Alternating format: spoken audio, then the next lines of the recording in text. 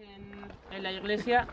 pues todos los años en la zona de difusión turística lo que nos gusta es inaugurar parte de la, de la panelería que trabajamos a lo largo del año y es un poco la tónica de todo el castillo. Si hacéis un recorrido en alguna de las visitas guiadas o cuando vengáis, vais a ver en que cada punto se va, se va poniendo explicaciones y que recomendamos siempre un poco las visitas guiadas porque se cuentan con los profesionales que os lo cuentan mejor que nadie. Pero bueno, es un apoyo para cuando pues, gente que venga de fin de semana a casa rural o que le apetezca darse una vuelta por el castillo, pues que tenga las explicaciones. En este caso son tres, porque el frente norte es uno de los frentes más complejos del castillo. Y digo más complejos porque acabamos de terminar la consolidación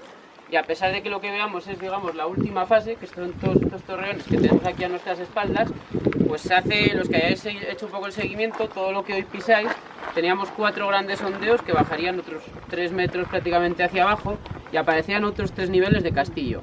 Al final un poco la, cuando nosotros presentamos los proyectos, el criterio de patrimonio debéis ir un poco a la última lectura.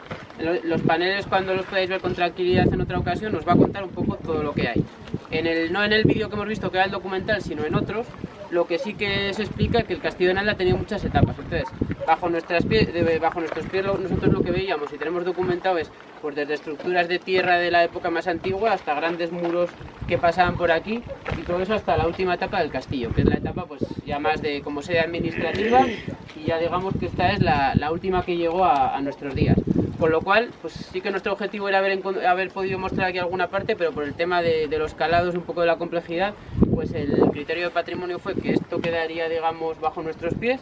y estos paneles pues lo explican. Así que cuando hagamos otras conferencias, vídeos, sí que vais a ver todas esas imágenes que tenemos documentadas, pues para que veáis lo que hay, que lo que os contamos no es que esté en el panel, sino que lo vais a poder ver en imagen. Entonces, pues bueno, inaugurar un año más y que sean muchos los paneles que tenemos turísticos, este año son tres,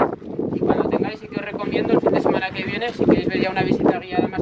la jornada de la ciruela, que además va a servir también para disfrutar de ese producto y de la jornada que hay, y podéis venir a la visita guiada, así que bueno, descubrir los paneles.